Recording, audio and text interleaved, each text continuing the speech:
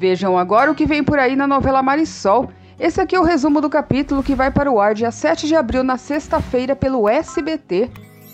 Após um incidente de sobrecarga elétrica, a casa de Mimi é incendiada com seu bebê ainda dentro.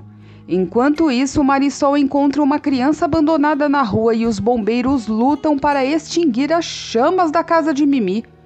Mimi fica inconsolável e Chico vai embora. Depois de oito anos, Vanessa brinca com Mimi e Marisol, enquanto Gil vende flores em um semáforo. Dez anos se passam e Vanessa desce do carro de Leonel. Enquanto isso, no escritório, Diego conversa com Marisol, enquanto Rodrigo é libertado da prisão e retorna para casa.